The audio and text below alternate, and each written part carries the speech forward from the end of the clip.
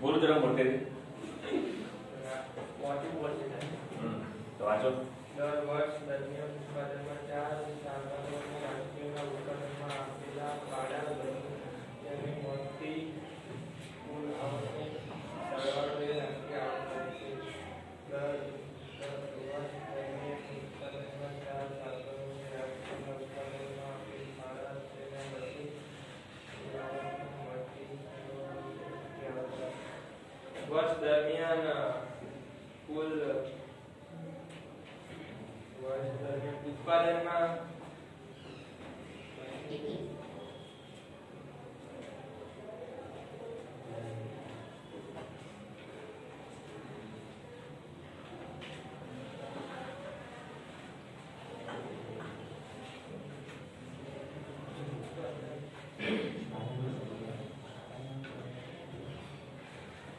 બેસ એટલે અહીંયા આગળ કોઈ પણ દેશની અર્થતંત્રની પરિસ્થિતિનો ખ્યાલ આપણને રાષ્ટ્રીય આવક પરથી આવે છે. બરોબર? હવે આ જોઈએ આપણે રાષ્ટ્રીય આવક એટલે દરેક અર્થશાસ્ત્રના મત મુજબ અલગ અલગ ખ્યાલ આપવામાં આવે છે. મુખ્યત્વે તો એમ કહી શકીએ કે ઉત્પાદનના સાધનો દ્વારા ઉત્પાદિત થતી વસ્તુઓનું કુલ મૂલ્ય એટલે રાષ્ટ્રીય એને આધારે અલગ અલગ અર્થશાસ્ત્રીઓએ પોતાની રીતે રાષ્ટ્રીય આવકની વ્યાખ્યા પણ પ્રયત્ન કર્યો છે. તો પહેલા છે પ્રોફેસર માર્શલ. તો પ્રોફેસર માર્શલના મત મુજબ રાષ્ટ્રીય આવકને ઉત્પાદન સાથે સીધો સાંકળ્યો છે. તો પ્રોફેસર માર્શલના મત મુજબ રાષ્ટ્રીય આવક એટલે ઉત્પાદનના સાધનો, જમીન, મૂડી અને શ્રમ દ્વારા એક વર્ષ દરમિયાન જે ઉત્પાદન થાય છે તેનું બજાર મૂલ્ય એટલે રાષ્ટ્રીય આવક. એને ત્રણ સંપત્તિ પ્રાધાન્ય આપ્યું છે. શું? મૂડી શ્રમ અને જમીન. એટલે કુદરતી સંપત્તિ. આપણને ખ્યાલ છે? જમીન એટલે શું? તમામ પ્રકારની કુદરતી સંપત્તિ. ત્રીજી બાબત ઉત્પાદન સાધન કયું છે? નિયોજન. અહીંયા આગળ નિયોજન આ ત્રણ સાધનો સમન્વય કરે છે અને વસ્તુનું ઉત્પાદન કરે છે. એટલા માટે પ્રોફેસર માર્સના મત મુજબ આ ઉત્પાદન આ ત્રણ સાધનો દ્વારા જે વસ્તુનું ઉત્પાદન થાય છે, તે ઉત્પાદનો સરવાળો એટલે રાષ્ટ્રીય આવક. તેથી તેને યાદ રાખજો, પ્રોફેસર માર્શલની વ્યાખ્યાને ઉત્પાદન લક્ષી રાષ્ટ્રીય આવકની વ્યાખ્યા તરીકે ઓળખવામાં આવે છે. ત્યાર પછી પ્રોફેસર ફિશર. પ્રોફેસર ફિશરના મત મુજબ એમણે વપરાશને પ્રાધાન્ય આપ્યું છે. વપરાશ એટલે શું? તો કે આ જે ઉત્પાદન થાય છે, વસ્તુ અને સેવા, એ કોના માટે થાય છે?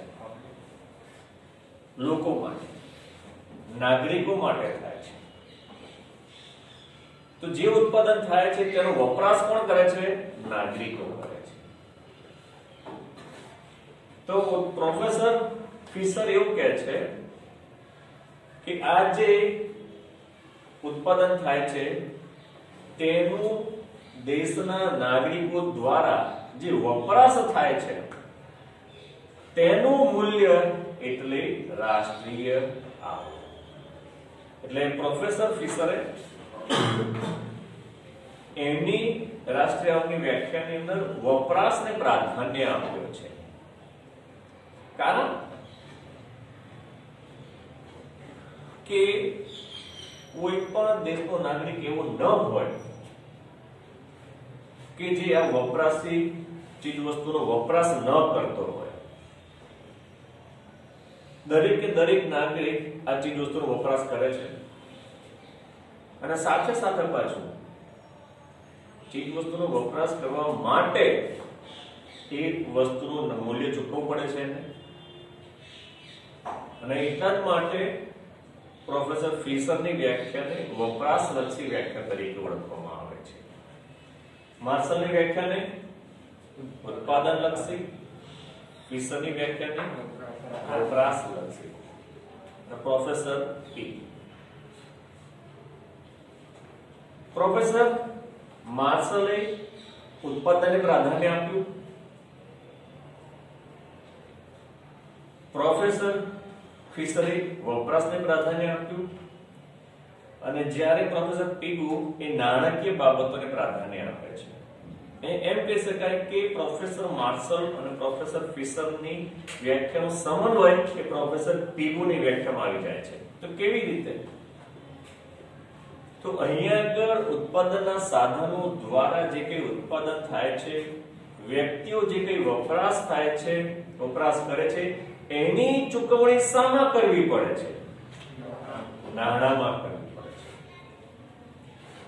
તો અહીંયા આગળ આ જે ઉત્પાદન થાય છે, જે વપરાશ થાય છે, જે સાધનો છે, તેની ચૂકવણી જે નાણામાં કરવામાં આવે છે, તેનું કુલ મૂલ્ય એટલે રાષ્ટ્રીય આવક તો અહીંયા આગળ આ રાષ્ટ્રીય આવકનો ખ્યાલ આપવા માટે ત્રણ બાબતોને પ્રાધાન્ય લીધું. ઉત્પાદન, વપરાશ આ ત્રણ બાબતો દ્વારા રાષ્ટ્રીય આવકની ગણતરી કરવામાં આવે છે. તેમાં કઈ કઈ બાબતો પર સમન્વય થાય છે? એક, તો સૌથી પહેલા ચોક્કસ સમયગાળો. એટલે કે એક વર્ષ. આ ત્રણેય વસ્તુઓ, ઉત્પાદન વપરાશ અને નાણું આની ગણતરી માત્ર ને માત્ર એક વર્ષ પૂરતી છે. એક વર્ષ દરમિયાન આટલી બાબતોને ધ્યાનમાં લેવામાં આવે છે.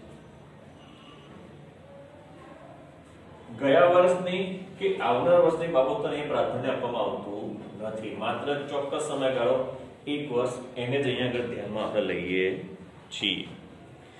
બરોબર? બીજી વસ્તુ. કે અંતિમ વસ્તુ અંતિમ વસ્તુ એટલે શું? છેલ્લી વસ્તુ. રાષ્ટ્રીય આવકની ગણતરી કરતી વખતે ઉત્પાદનના સાધનો દ્વારા જે ઉત્પાદન થાય છે, એનું અંતિમ મૂલ્ય હોવું જોઈએ. પણ કેટલીક વખત એવું બને છે કે એક જ વસ્તુની ગણતરી બે વખત થવાની શક્યતા રહેલી છે. એ કેવી રીતે? દાખલા તરીકે કાપડ. કપાસ, કપાસમાંથી દોરા બને અને દોરામાંથી કાપડ. તો એક વસ્તુ, તૈયાર વસ્તુ, એટલે કાપડ થઈ. કે ટેક્સટાઇલ મિલમાં કાપડ બન્યું. એની ગણતરી કરી કાઢી. પણ ફરીથી જ્યારે કાપડને આપણે ઉપયોગમાં લેવા માટે એને વસ્ત્રમાં પરિવર્તન કરવામાં આવે. તો જ ઉપયોગમાં આવે? એટલે રેડીમેડ ગાર્મેન્ટ તો એક વખત કાપડમાં ગણતરી થઈ જાય અને બીજી વખત રેડીમેડ વસ્ત્રો એટલે કે શર્ટ, પેન્ટ, એ બધી વસ્તુ. તો બે વખત તેનું વેચાણ થાય. એક, કાપડના સંદર્ભમાં અને બીજું વસ્ત્રના સંદર્ભમાં. તો અહીંયા એવું કહે છે? કે આવું ન થવું જોઈએ. બેવડી ગણતરી થવી જોઈએ નહીં. એટલા માટે અંતિમ વસ્તુને જ પ્રાધાન્ય આપવું જોઈએ. છતાં પણ આપણે ચોકસાઈ પૂર્વક કહી શકાતું નથી. બીજી વસ્તુ અહીંયા કે અહીંયા આગળ ઘસારા બાદ કિંમત ધ્યાનમાં લેવામાં આવે છે. ઘસારા બાદ કિંમત એટલે શું? આપણે વાર્ષિક જમા જોઈ ગયા છીએ. અહીંયા આગળ ઘસારા બાદ કિંમત શાની થાય? કે માત્ર મિલકત વપરાશી વસ્તુ તો ખાલી વપરાશ પૂરતી જ આવવાની છે. પણ ઘસાવ શેમાં વાત કરી છે આપણે? યંત્રોમાં, સાધનો. તો અહીંયા આગળ ઉત્પાદનના સાધનો છે, એ સાધનોની મૂલ્ય નક્કી કરતી વખતે ઘસારાને ધ્યાનમાં લેવો જોઈએ. એમ માનવામાં આવે છે. બીજું નાણાકીય મૂલ્ય તો સ્વાભાવિક છે જગ્યા કે ત્રણેય વસ્તુ છે, ઉત્પાદન, વપરાશ, એ બધાનું નાણાકીય મૂલ્ય નક્કી કરી શકાય છે. તો એને ધ્યાનમાં લેવું જોઈએ. ત્યારબાદ, ઉત્પાદન અને વપરાશ એ બે બાબતો તો આપણે જોઈ ગયા એ પ્રમાણે ધ્યાનમાં લેવામાં આવે છે. એ ટૂંકમાં કહી શકીએ કે રાષ્ટ્રીય આવકની ગણતરી કરતી વખતે ઉત્પાદનના સાધનોના ઉત્પાદિત મૂલ્યને આપણે રાષ્ટ્રીય આવક કહી શકીએ. સરવાળે. હરીફરીને તો ક્યાં જવાય છે? આખા ચેપ્ટરમાં જ વસ્તુ છે, યાદ રાખજો. કે ઉત્પાદનના સાધનો દ્વારા ઉત્પાદિત થતી વસ્તુઓનું અંતિમ નાણાકીય મૂલ્ય એટલે રાષ્ટ્રીય પછી એને બે ભાગમાં વહેંચાય છે, કે રાષ્ટ્રીય આવક અને રાષ્ટ્રીય પેદાશ. એ પણ પાછું એનું એ જ આવે છે. રાષ્ટ્રીય આવક એટલે શું? રાષ્ટ્રીય પેદાશ એટલે શું? આમ જોવા જઈએ તો રાષ્ટ્રીય પેદાશ બરાબર રાષ્ટ્રીય આવક? કહી શકીએ આપણે? પણ રાષ્ટ્રીય પેદાશમાં અમુક વસ્તુનો સમાવેશ થાય છે રાષ્ટ્રીય આવકમાં થતો નથી. તો રાષ્ટ્રીય આવકમાં એવું માનવામાં આવે છે કેટલાક અર્થશાસ્ત્રના મત મુજબ કે ઉત્પાદનના સાધનો છે, એને આપણે વળતર ચૂકવીએ છીએ. જમીનને ભાડું, શ્રમને વેતન, મૂડીને વ્યાજ, નિયોજકને કોઈ પણ સાધન કોઈ પણ પ્રકારનું વળતર ચૂકવ્યા વગર વપરાય છે ખરું?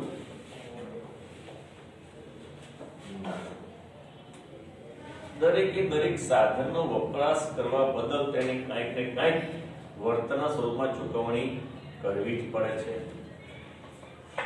તો એટલે રાષ્ટ્રીય આવક ગણતી એ બાબતને ધ્યાનમાં લેવામાં આવે છે કે ઉત્પાદનના સાધનોને તેના વપરાશ બદલ ચૂકવવામાં આવેલ વળતર, બરાબર રાષ્ટ્રીય આવક એટલે કે રાષ્ટ્રીય બરાબર ભાડું વત્તા વ્યાજ વત્તા વેતન વત્તા બરાબર રાષ્ટ્રીય આવક પાછી એકની જ વસ્તુ આવી.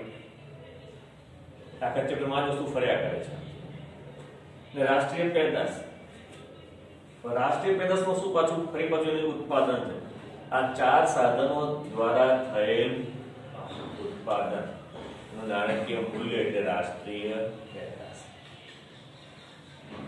પરંતુ અહીંયા પછી કેટલીક બાબતો ધ્યાનમાં લેવામાં આવે છે, રાષ્ટ્રીય પેદાશ વખતે કે એની કિંમત વધી જાય છે, કે ઉત્પાદન કરતા તેનું બજાર મૂલ્ય વધારે આવે છે. કેમ?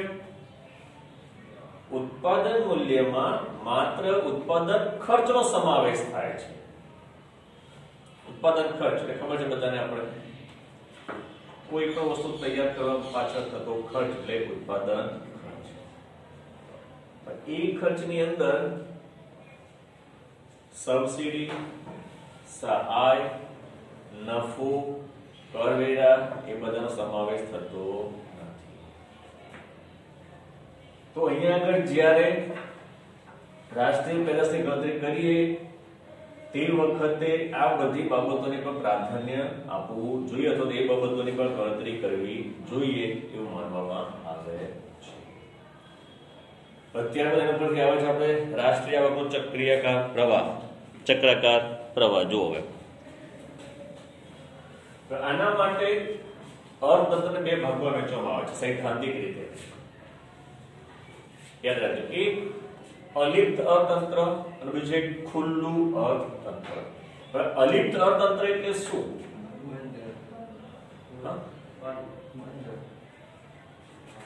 ખુલ્લું અર્થતંત્ર અને અલિપ્ત અર્થતંત્ર.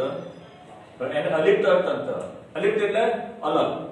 બીજાથી અલગ રહે. અલિપ્ત રહેવું, છૂટું રહેવું. તો જે અર્થતંત્રની અંદર વિદેશી વેપારની ભૂમિકા ન હોય, માત્ર ને માત્ર દેશમાં ચીજ વસ્તુ ઉત્પાદન કરવામાં આવે, સરકાર પણ તેમાં સહાય કરતી ના હોય, આયાત ઉપર ન થતી હોય, નિકાસ ઉપર ન થતી હોય, તેવું સ્વનિર્ભર અર્થતંત્ર એટલે અલિપ્ત અર્થતંત્ર. કોઈ પણ પ્રકારની સહાય મળે નહીં, આયાત નહીં, નિકાસ નહીં. તેવા અર્થતંત્રને કહીએ આપણે, અલિપ્ત અર્થતંત્ર યાદ અને બીજું ખુલ્લું અર્થતંત્ર. તો ખુલ્લા અર્થતંત્રની અંદર દરેક પ્રકારની સહાય મળે, વિદેશ વેપારની ભૂમિકા હોય, સરકારની ભૂમિકા હોય, આયાત થતી હોય, નિકાસ થતી હોય. એવા અર્થતંત્રને કહેવાય ખુલ્લું અર્થતંત્ર. તો અહીં આગળ આપણે એવું માનીએ છીએ કે દેશનું અર્થતંત્ર એ અલિપ્ત અર્થતંત્ર છે અને અલિપ્ત અર્થતંત્રમાં રાષ્ટ્રીય આવડો ચક્રેકાર પ્રકાર કેવો રહે છે એ પાછળ જોઈએ તમે જો આપણું યાદ રાખી લેજો આ રીતે. ચક્ર એટલે શું? ગોળ. તો એવું માનવામાં છે કે રાષ્ટ્રીય આવક ચક્રાકાર પ્રવાહમાં ફરતી રહે છે. કેવી રીતે? તો એક બાજુ ઉત્પાદક પેઢીઓ છે. ડાબી બાજુ ઉત્પાદક પેઢીઓ છે અને જમણી બાજુ કુટુંબો છે. અર્થતંત્રમાં બે પક્ષ છે. એક ઉત્પાદક અને બીજું એક સોરી, કુટુંબો. ઉત્પાદક વસ્તુનું ઉત્પાદન કરે છે અને કુટુંબો પાસે બે વસ્તુ છે. એક સાધનોના માલિક છે, કારણ કે જમીનના માલિક હોય, બરોબર?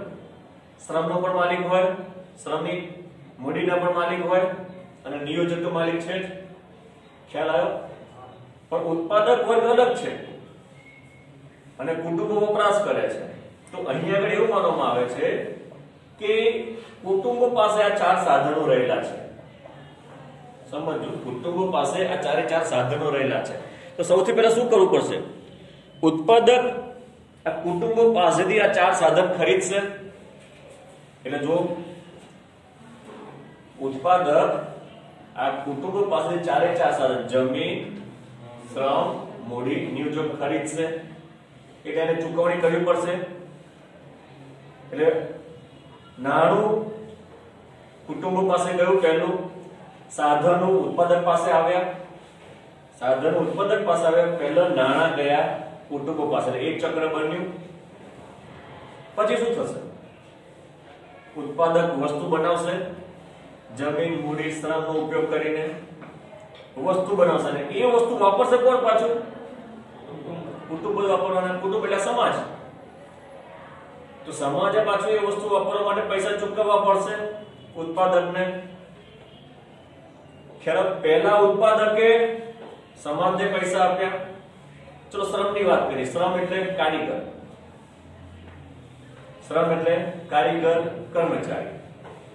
તો પહેલા કંપની વાળાએ વસ્તુ બનાવવા માટે કર્મચારીની સેવાનો લાભ લેવો પડે, નોકરી રાખવો પડે એટલે તેને પગાર આપવો પડે. એટલે પહેલી વસ્તુ એ થઈ, શ્રમ માલિક છે, કુટુંબ છે તો એને પેલા પગાર આપ્યો, પછી એને કામ કર્યું એક વર્ષ. ત્યારે કોલગેટની કંપનીમાં કામ કરતો હોય, તો એને કોલગેટનો વપરાશ કરવો પડે. તો કર્મચારી, દરેક કર્મચારીને કોલગેટ મફતમાં આપશે, ખરો? પે કંપની? મફતમાં આપે? ના. એ જ વાપરવા કોલગેટ વાપરો માટે પાછળ પૈસા ચૂકવવા પડશે. દુકાનદારને દુકાનદાર પાસે કોની પાસે આવશે પૈસા? કંપની પાસે. ખ્યાલ આવે છે? એટલે આ ચક્ર હંમેશા ચાલ્યા જ કરે. અને એને કહેવાય છે રાષ્ટ્રીય આવકનો ચક્રાકાર. જો આ ચક્ર ના ચાલે તો શું થાય? અર્થતંત્ર ચાલે ખરું? અર્થતંત્ર ચાલે નહીં એટલા માટે કહેવાય છે કે રૂપિયો હંમેશા ફરતો રહેવો જોઈએ. ફરતો રહેવો જોઈએ એટલે કે એક વ્યક્તિ પાસેથી બીજી વ્યક્તિ પાસે, બીજી વ્યક્તિ પાસે, ત્રીજી વ્યક્તિ પાસે. તો જ અર્થતંત્ર ચાલે. દાખલા તરીકે તમારા વાલી કમાણી કરીને આવે છે, પગાર લઈને આવે છે, તો એ પગાર મહિને તિજોરી મૂકી દે છે? ના.